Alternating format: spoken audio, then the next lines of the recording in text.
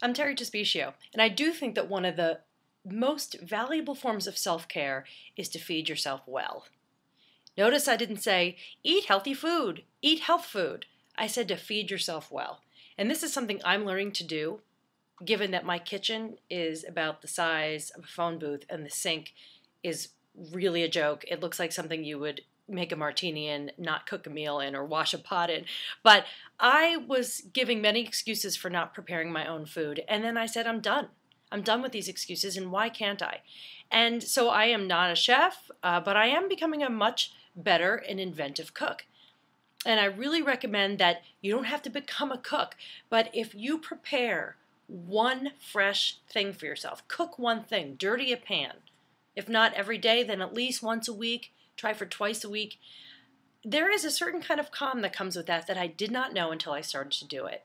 So I really recommend as a form of stress relief. Why is it a stress reliever? Because you're focusing attention on what you're doing.